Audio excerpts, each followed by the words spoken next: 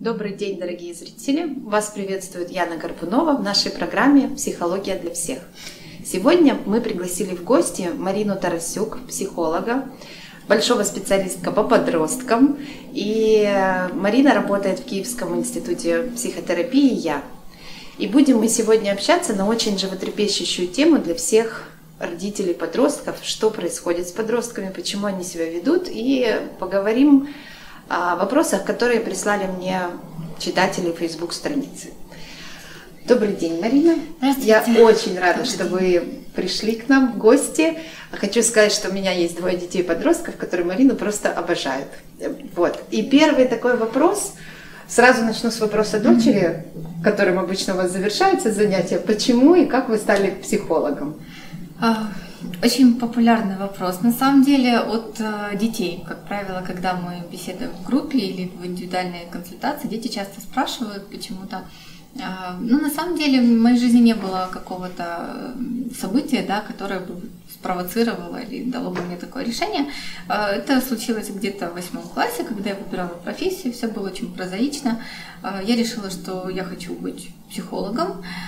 Ну и, в общем-то, мне кажется, что человеческая психология, она обуславливает все остальное. Mm-hmm. Ну, по сути, в основе вообще всех наших каких-то социальных э, процессов лежат наши потребности, наши чувства, наши эмоции, и это обуславливает и рождает все остальное. Мне хотелось работать с тем, что лежит вот в самой в основе, сути, в основе. Да? Да. Mm-hmm. Мне казалось, что это самое главное. А почему подростки? А, как так получилось, что именно Почему подростки? подростки? Эм, вы знаете, наверное, в этом мне помог младший брат угу. мой.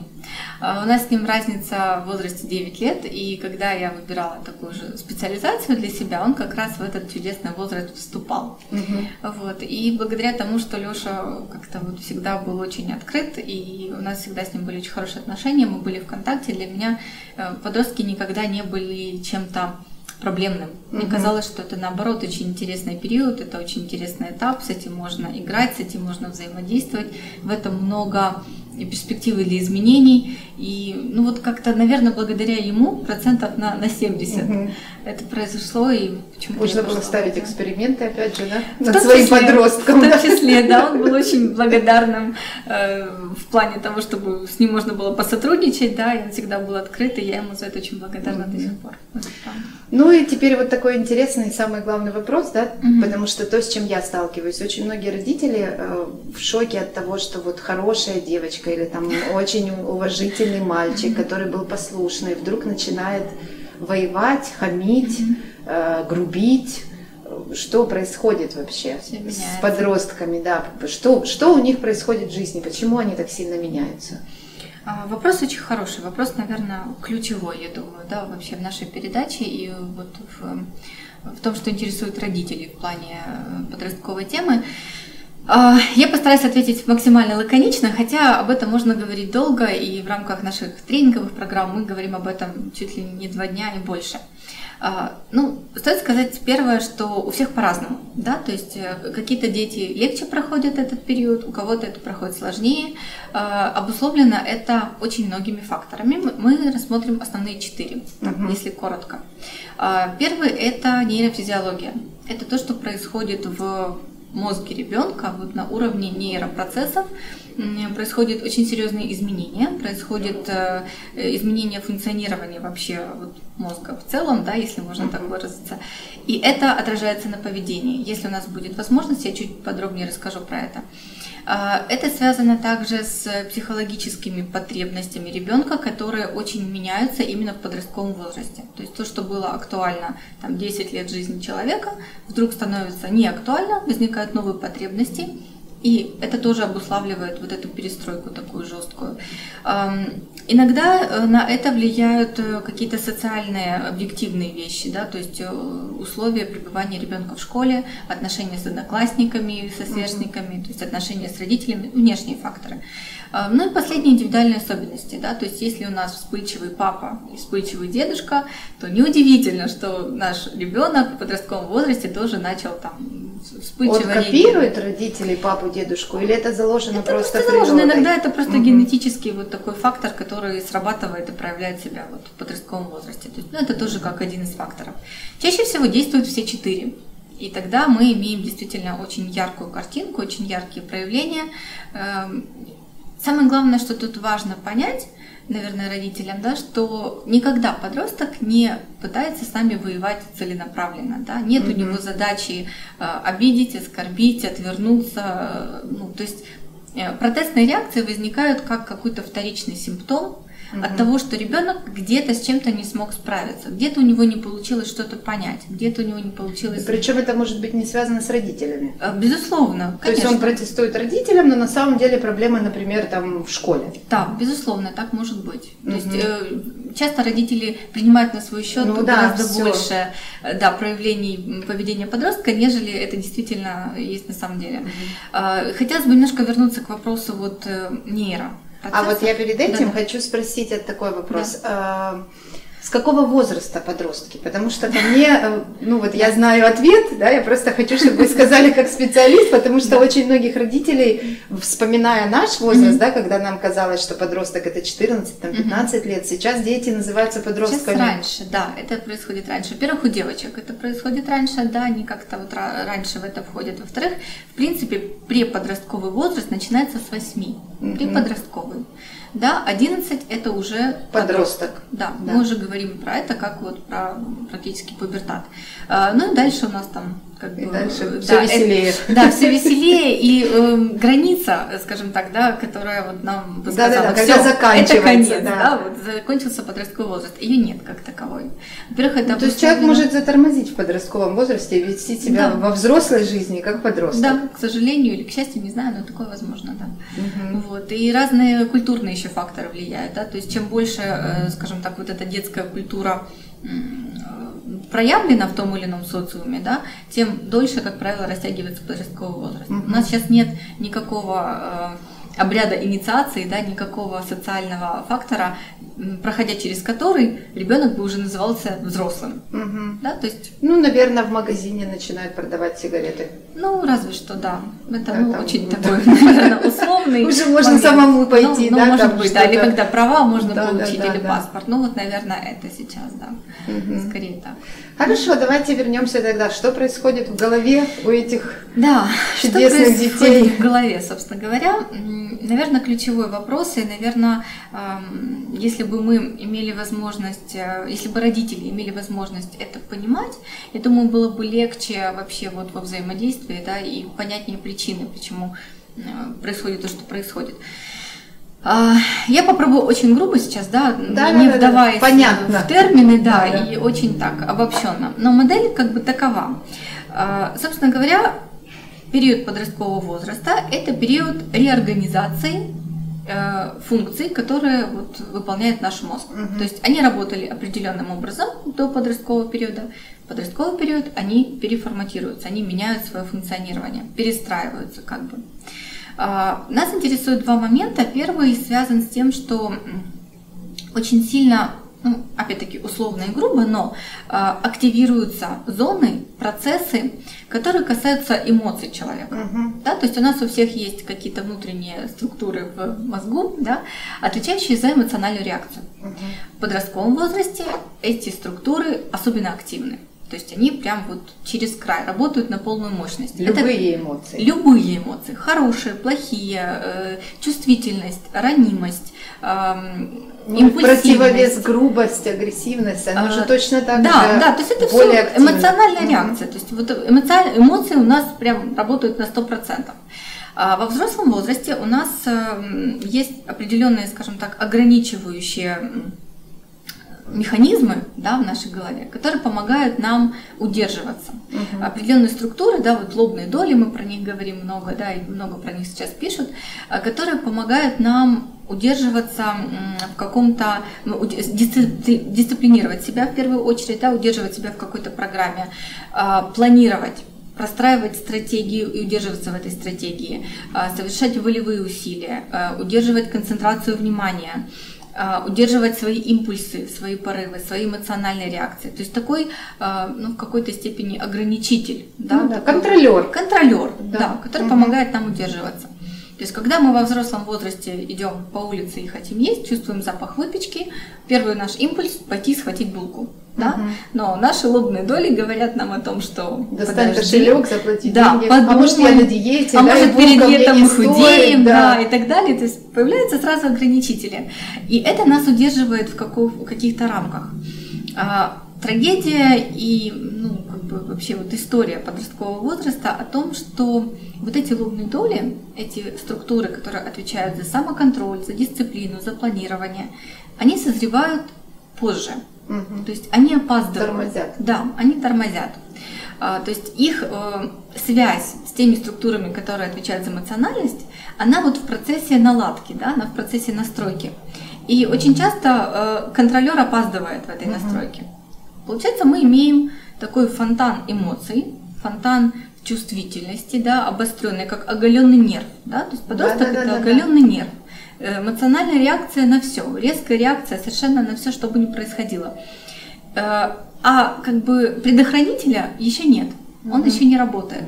Это физиология, это не вредность, это не принципиальная позиция подростка, это просто физиология. Так работают мозги. Со временем потихонечку связь между этими структурами налаживается, они начинают работать слаженно, хорошо, и получается, что человек уже способен больше быть рефлексивным, сдержанным, спокойным, осознанным и так далее, да, то есть он уже как бы вот удерживается. Ну, еще мне интересно, ведь если такие эмоциональные подростки, то они же не могут объективно оценивать ре, э, ну, реальность, да? Да. Потому что, например, какие-то ну, реакции родителей, Mm-hmm. Вот это вот, ты меня не понимаешь, да, ты mm-hmm. не хочешь меня слышать, ты все делаешь мне на зло. То есть вот озвучивает то, что хочется сказать ребенку да. на самом деле. Это тоже нормально. То есть они, они не потому, что они вредят они и, и вред... воюют. Да, это не вредность, это попытка вообще справиться с тем, что происходит, когда твоя реальность э, начинает меняться с огромной скоростью.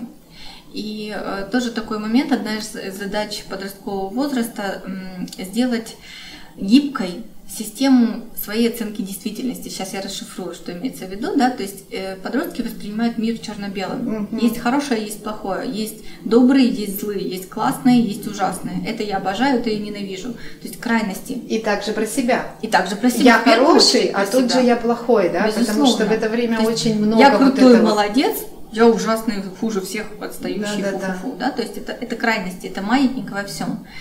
И одна из задач подросткового возраста выработать способность эм, ощущать полутона, понимать, mm-hmm. что есть хорошее, есть плохое, есть. Можно так на это посмотреть, можно иначе. Можно с разных сторон к этому подойти, да. То есть взрослые люди уже к этому. Ну, наверное, поэтому они очень любят э, всякие такие вот притчи, философские истории, да, Хорошо, потому что любят. у них это. Но они все равно их слушают с удовольствием. Ну, в да, большинстве это есть, своем. Это есть, да. да. потому что это дает возможность. А еще вот тоже мне интересно, очень многие родители жалуются, ну или там комментируют, скажем так, но в большинстве своем жалуются, что дети вот было столько интересов, было столько сил, а сейчас вот ребенок лежит просто на диване, ну или там, или в компьютере, или просто лежит на диване и ничего не хочет, бросает все свои увлечения, все задачи, там, забивает на учебу, да, не хочет mm-hmm. учиться. Это тоже связано с мозгом. Да, это связано в том числе с мозгом, это связано с решением вот тех психологических задач, которые есть в этом возрасте, с тем, что ребенок сталкивается с необходимостью сформировать самого себя. То есть до 10 лет ребенок транслирует ценности семьи. Он хочет быть похожим на папу, да, он хочет быть одобренным мамой. То есть он, я как, как они, я часть семьи. В подростковом возрасте э, стоит задача почувствовать себя отдельным от семьи. Mm-hmm. Да? То есть есть семья, а есть я. Я точно не такой, как они. А какой это я? главная, да, установка, с чего все это, начинается. Да, я не это такой. нормально. Это нормально, потому что это позволяет человеку сформировать свою автономию. Как ребенок в три года, да, который раньше там переживал симбиоз с мамой, я и мама одно целое, в три года у нас э, негативизм появляется. Да, да, да, вот, вот это нет, нет, лет. нет. Нет угу. реакции. Почему? Потому что у него формируется самосознание. Он угу. и мама должны оказаться отдельными объектами. Здесь происходит все то же самое, только на уровне психологическом. Угу. Я и мама должны оказаться отдельными объектами на уровне ценностей, на уровне там, не знаю, традиций, правил, образа жизни и так далее. Это не потому, что он перестал любить маму, а потому что он должен сформировать себя, понять, какой он, сформировать свои ценности, свои взгляды, свои вкусы, музыкальные, там, в одежде и так далее. И вот эта э, острая необходимость выстроить себя обуславливает ну, большую часть их Ну да, легче всего начинать с того, что я не буду такой, как вы. А потом уже да. от этого отталкиваясь учиться Проблема быть другим. Проблема в том, что да? не знает, какой я. То ну есть да, я не такой, как вы, я же говорю, какой. что легче всего сначала сказать, я Да, не такой, да, да. а потом уже думать над тем, какой же я все-таки. Ну и то, что вот они становятся лентяями, это как это вообще? Ну просто я себе так представляю и понимаю, что если такая происходит буря эмоций, да, это Да. занимает очень много энергии, отбирает. Совершенно верно. И С поэтому абсолютно реально и абсолютно тоже логично, что, например, спать надо больше, да. Безусловно, сон вообще очень важен. А В подростковом возрасте еще такая штука происходит. А, Разрываются связи, которые уже ребенку не актуальны, скажем так, да, какие-то навыки, какие-то воспоминания, какие-то э, умения, которые были и уже ему не нужны, они уходят, отмирают. Но укрепляются те, которые актуальны, те, Мгм. которые сейчас нужны. А, И вот в процессе сна этот, э, этот процесс, он работает Мгм. наиболее интенсивно. То есть сон нам нужен для того, э, чтобы, по сути, сформировать взрослого человека в себе. Подростки спят много или спят очень нерегулярно, но это тоже нормально, и им обязательно надо давать возможность высыпаться. Это, ну, прям такая Ну, то рекомендация. есть, если, например, ребенок встает утром и говорит, я не могу, можно я пойду на второй урок? Тут вопрос, скажем да, так. да, вот мне да, интересно, иногда как родителям хитрость. определить, что ребенок реально устал Мгм. или что он хитрит? А, Откровенно говоря, ну, какого-то вопроса, знаете, вот секретный код, как Ну, все понять, же ждут правда или секретный нет. код, да. Да, к сожалению, его нет. Вопрос э, вашего контакта с ребенком, да, насколько вы э, честны, насколько он бывает честен с вами. А, Ну и скорее вопрос доверия, да, он тоже должен здесь присутствовать. И здорово, если ребенок может признаться в том, что он просто не хочет идти в школу, и тем не менее вы даете ему возможность остаться дома. Мгм. То есть вот, вот это было. А что вот э, э, еще очень много родителей, сейчас это болезнь, прям такая, ну родители так считают, Мгм. что это болезнь. А, вот все компьютеры, да, или там Мгм. гаджеты, или Инстаграм, или Фейсбук, или Вайбер, вот прям ну, огромное количество Мгм. родителей жалуются на то, что все общение происходит там, и что дети постоянно в этих гаджетах внутри. Мгм. И все очень стараются и задаются вопросом, как их отучить от этого. Ам, Больной вопрос, да, Да, актуальный. да, да, очень актуальный. Да, есть Мгм. этот, этот запрос от родителей в том числе. Просто давайте подумаем о том, а, что такое гаджеты на сегодняшний день. Да? То есть это же не просто э, там, игра, да, как это вот времяпрепровождение, в которое ребенок просто тратит свое время. А, Гаджет это инструмент, через который а, ребенок может реализовать огромное количество своих потребностей. Мгм. Огромное. А, Первое – это потребность в общении. Да? То есть у них э, ведущая деятельность – это общение со сверстниками, это выстраивание отношений, и гаджет нам тут как ничто помогает. Да? Он помогает нам, им помогает коммуницировать, он помогает им а, формировать образ себя. Что такое лайки? Да, что такое Инстаграм, да, и почему подростки так от этого зависимы? Потому что лайк позволяет понять, что тебя оценили, ты понравился, да, Мгм. кто-то вот плюс в тебе в твою идентичность. Мгм. То есть это тоже способ выстроить себя, выстроить, понять, какой я, понять, как меня воспринимают. Это э, очень важно для них. Это Мгм. занимает огромное количество их мыслей, их э, вообще их энергии уходит на то, чтобы понять, как ко мне относятся и как меня Через да, воспринимают. Через гаджеты в том числе, через социальные сети. А, том числе гаджеты могут помогать ребенку справляться с каким-то напряжением. Каким образом? В школе поссорился с ребятами, разозлился на кого-то, обиделся, меня кто-то обидел, оскорбил, у меня есть злость, у меня есть напряжение, я пришел и пострелял стрелялку. Мгм. Да, и я выпустил немножко, реализовал вот это ощущение тревоги, я его снял, или ощущение напряжения. То есть это может быть отреагирование каких-то эмоциональных переживаний тяжелых. А, Это может быть э, дружба. Бывает такое, что э, дети не могут выстроить отношения в классе по каким-то причинам, у них есть сложности. И тогда э, они могут играть по сети, то, что сейчас называется там, Мгм. в виртуальном пространстве, дружить с какими-то другими ребятами. это тоже полезно. Это полезно, потому что их потребность возраста выстраивание отношений. Мгм. И если у ребенка не входит это делать в реальности или выходит плохо, То это своеобразный тренажер для да, он тоже. это компенсация, да, он это делает там, где у него выходит, так как у него получается. Но я не могу сказать, что это прям совсем плохо. Но вот все равно же есть какая-то грань Когда это Безусловно. становится зависимостью, вот как ее увидеть? А, Потому что, ну вот, у меня да. тоже ребенок Да-да. подросток, да, и я вижу, у меня и дочь, и сын. И вот э, дочь, она постоянно в Инстаграме, ну как, не постоянно, но они общаются через Инстаграм и Вайбер, вот и подружки, и делают уроки они вместе Мгм. через Вайбер, да. Я понимаю, что там общение, что там как раз вот это фотографии, там, ну вот что-то такое интересное. Но при этом она ходит на танцы, ей это очень важно. Она, конечно, отложит мобилку и будет играть, да, и она читает книги и все такое. Сын, он играет в этот, э, какая-то тоже там сетевая как Мгм. раз игра, он строит там отношения, в смысле дружбу. А, Они тоже там созваниваются, скайп, какие-то Мгм. сессии, на время договариваются, да.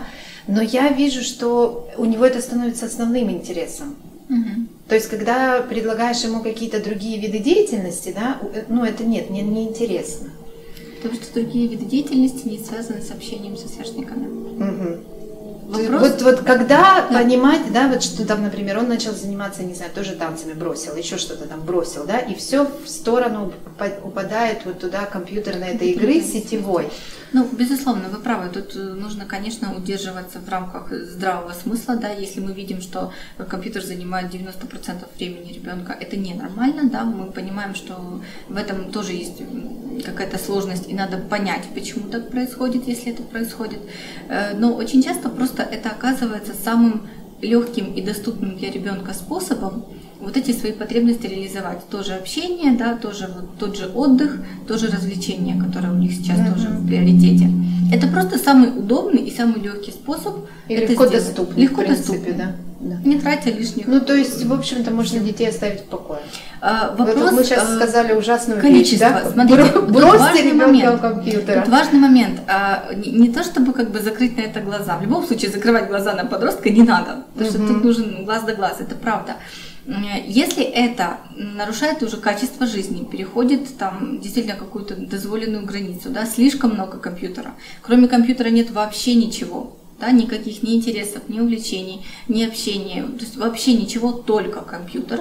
Да, здесь вопросы есть серьезные, да, здесь можно показаться психологу, потому что э, есть какие-то потребности, которые не удовлетворяются, есть что-то, что мешает ребенку действовать в реальном То есть мире. он туда убегает, грубо том говоря, от каких-то проблем, Может быть, которые да, может у, быть, у убегает. него. Ведь не обязательно же это проблема в семье, да? Потому Не что очень обязательно, часто конечно. родители говорят, ну у нас же хорошая семья, да, мы там спортивные, еще там что-то. Мгм.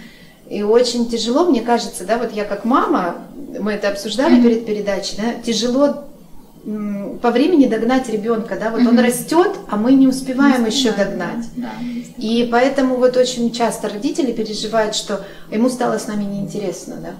Потому что и, и очень сложно осознать, да, что ребенку на самом деле со взрослыми Больше неинтересно. не интересно. Вообще э, очень интересная идея о том, что меняются правила взаимодействия в целом. Да? Мгм. То есть до 10 лет мы живем по одним правилам, а потом все меняется. И э, наши традиции семейные, наши какие-то там э, маленькие да, правила, которые работали, да, и, и способы взаимодействия, они больше не, не работают, они больше не, ну, как бы невозможно их применить. Это не потому, что ребенок обиделся на родителей, или он их ненавидит, или он не хочет быть с ними, потому что он изменился. Изменились его физические размеры, да, физиологические, изменилось его психологическое состояние. Он в процессе выстраивания самого себя. Ему нужно понять, кто А вот такой. этот вот, знаете, еще тоже очень частая такая обида родителей, да, э, подростковый эгоизм. Мгм. Это тоже вот связано с тем, что я с этим надо вообще бороться, или это принимать как он тоже как? проявляется. Ну Ну, вот, например. например, э, совершенно неинтересно вообще, что происходит у других членов семьи. Мгм. И если разговор начинается, то только вот обо мне. То, что мне надо, то, что мне интересно. Нет, приходят, делятся своими задачами, Мгм. да. Или там, например, вот папы очень часто, я знаю, Мгм. особенно почему-то часто комментарии, поскольку уже у меня подростки, то и у друзей под папы все время обижаются, что ей или ему нужны только деньги от меня. Мгм. Что вот только на себе сконцентрированы, только деньги. И я вот только нужен для денег. Не проявляет должного уважения, не проявляет должной благодарности. Ну, то есть Это столкновение, скажем так, родительских страхов, каких-то ожиданий, да, и эм, тех процессов, которые переживает подросток. Первое, что хочу сказать, если он приходит и рассказывает вам про себя и делится, да, и много говорит о себе, радуйтесь, это большое счастье на самом деле. Пока подросток говорит о себе и делится с вами э, своими какими-то переживаниями, чаяниями и чем-то еще, это очень здорово. Это значит, что у вас есть с ним классный контакт. Это очень ценно. Говорите с ним о нем столько, сколько надо. Угу. Просто э, сейчас настолько важно для него разобраться с самим собой, настолько много эмоций сейчас у него, настолько много переживаний, настолько много тревог, что да, у него приходится говорить о себе, потому что с ним все не в порядке. Угу. С ним просто все не в порядке. Ему самому непонятно, что это. И если он приходит к родителю как к тому, кто может ему в этом помочь, это большая ценность. Этому стоит порадоваться. Это не эгоизм, это момент, э, ну, как вам сказать, когда у нас какие-то серьезные проблемы, нам страшно или нам непонятно, мы растеряны, мы приходим к другу и рассказываем о своих чувствах, потому угу. что они нас переполняют, нас их много, и нам так важно получить поддержку и какую-то помощь. Здесь Поговорить о себе, да. Мы да. говорим о себе, да. Когда у меня что-то случилось, я прихожу к подруге и рассказываю о себе. Я не спрашиваю в первую очередь, да, а как ты, как там у тебя там было три да, дня да, назад. Да. Мне нужно свое. А если наоборот было... закрывает дверь и говорит, я не хочу с тобой об этом говорить, и оставь так меня. тоже бывает. Так бывает чаще, к сожалению. Вот mm-hmm. это тот случай, когда бывает чаще. А, тоже мы это, ну как сказать, э, это, наверное, важно принять. Это надо уважать, это его право. Да. А как же боязнь родителей о том, что с ним происходит? Она есть, и задача родителей бороться, ну как бы не бороться, скажем так, э, самому работать со своей боязнью. Угу. Потому что действительно подросток это уже практически самостоятельный человек, и э, у него есть э, право на то, чтобы да, рассказать или не рассказать, поделиться или не поделиться. Э, и круто, если родитель показывает ему, что это право у него есть. Угу. То, есть, То есть не ломится в дверь? Да, конечно. Хорошо, а тоже такая вот ситуация, ну понятно, что бывают разные истории, бывают разные ситуации mm-hmm. в школе, стрессы, да, и вот э, это же уже большой ребенок, неважно, там mm-hmm. девочка или мальчик, да, подросток, mm-hmm. как правило, уже так, если это постарше подросток, он уже ростом там с нас, особенно ну, да. с нас с вами, да, вот. И вот он, например, садится на кровать и говорит, я не пойду в школу. Так бывает, да. Это протестная реакция, которая у нас тоже появляется время от времени. А, вопрос, почему? грубо говоря, да, чем обусловлено. Вот конкретно в этой ситуации что делать, да, потому что, ну, понятно, что надо разбираться, да. надо идти там, возможно, к психологу, потому что, насколько я понимаю, это уже совсем протестная ситуация, когда уже да. потерян вообще контакт и mm-hmm. договориться о чем-то нельзя. Стоит ли эм, проявлять силу, начинать угрозами там или еще чем-то? Mm-hmm ну, то есть добиваться своего, в каких случаях родителям надо все-таки добиться mm-hmm. своего, потому что, ну, ведь отпустить же без границ тоже ну, это плохо. Границы должны Границы быть. должны быть. И какие доводы да. использовать? Mm-hmm. Я скажу, почему да. вот мне этот вопрос, потому что очень часто у родителей опускаются руки, они не знают, что говорить, mm-hmm. и начинаются вот эти разговоры, а, я тебя кормлю, да да, будь добр. Да, я там плачу за твою школу, ну не школу, да, извините, там за курсы, или я покупаю тебе одежду, mm-hmm. ты там, я тебя содержу, поэтому ты должен меня по этому поводу слушаться. То есть насколько так это бывает. разумно? Так бывает. Я хочу сказать, что э, эти разговоры, да, формат этих разговоров будет обусловлен тем, как люди жили до этого 12 лет.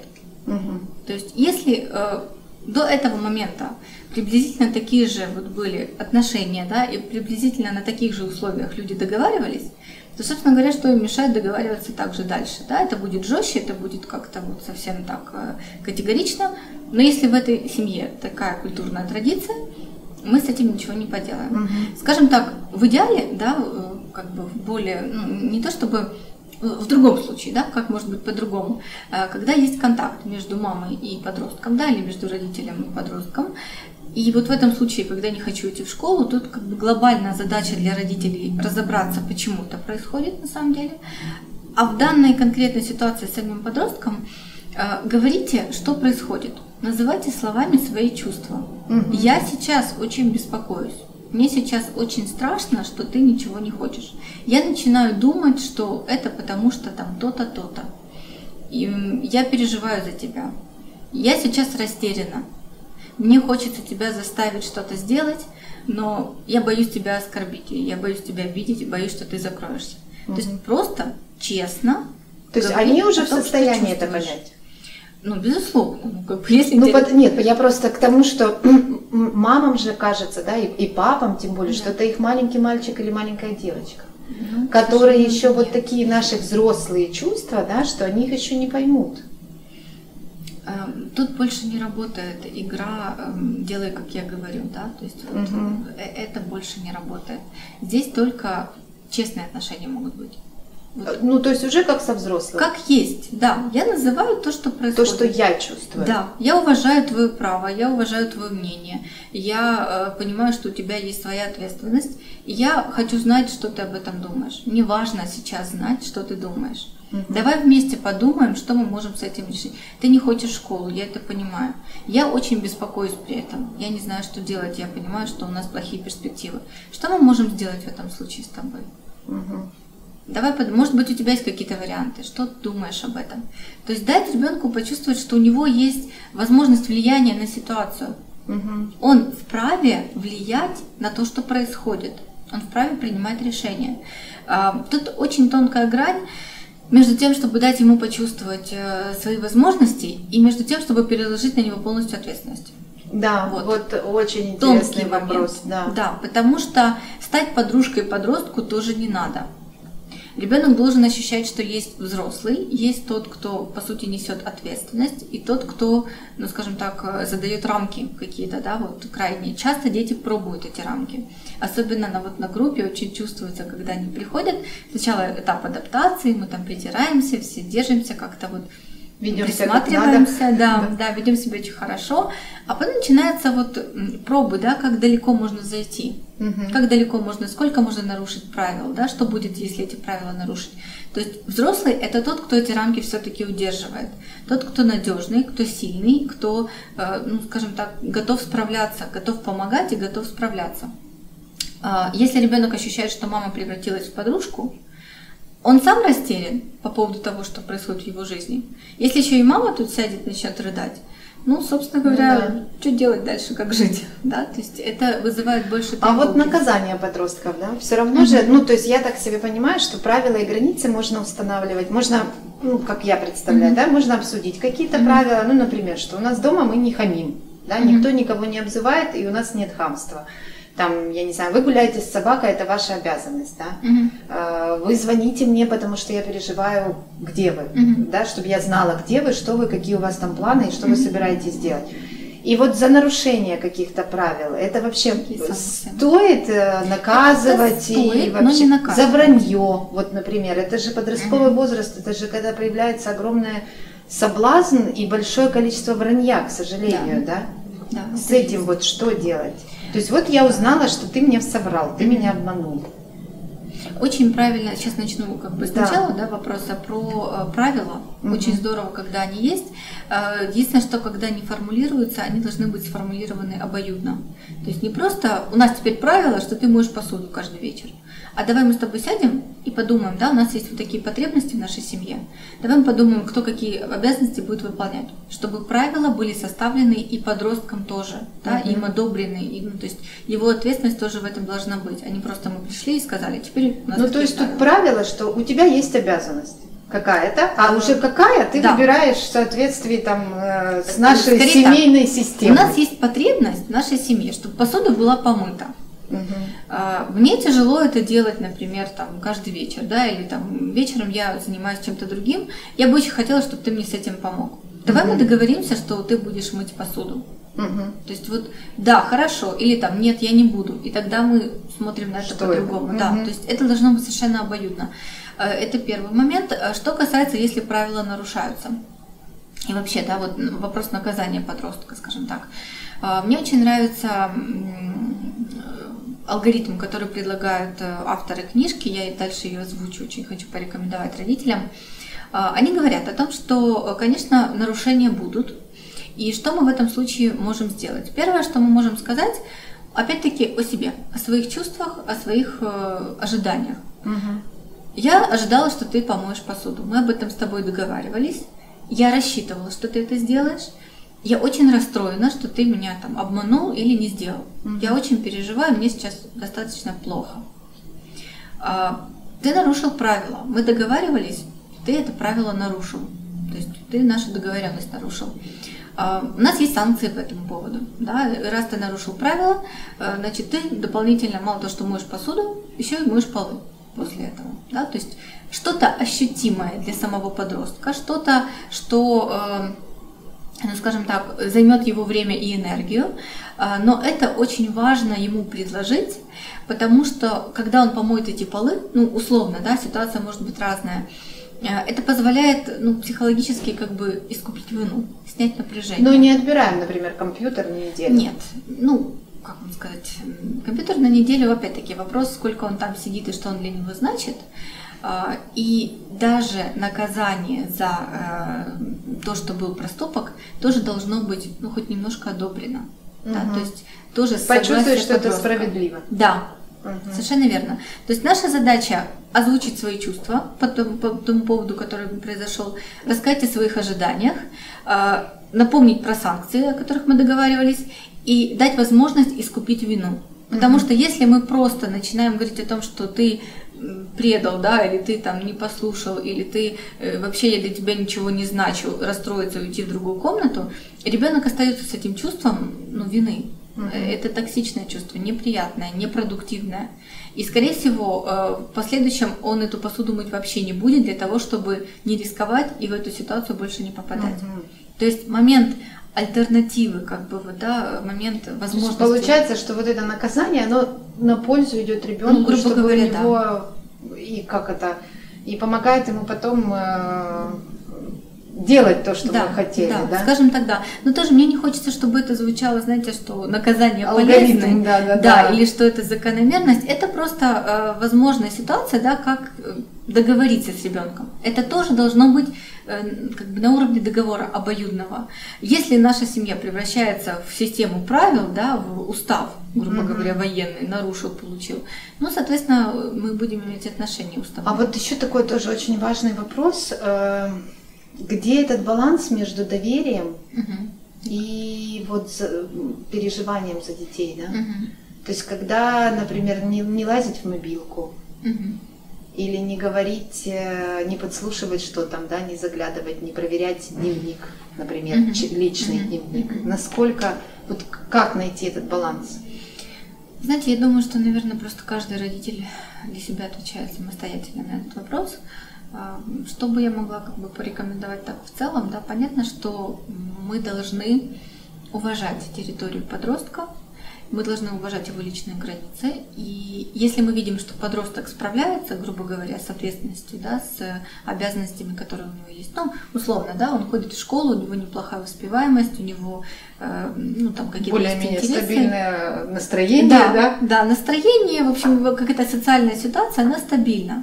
Э, Если он справляется с теми задачами, которые у него есть на данный момент, и справляется неплохо, это повод ему доверять.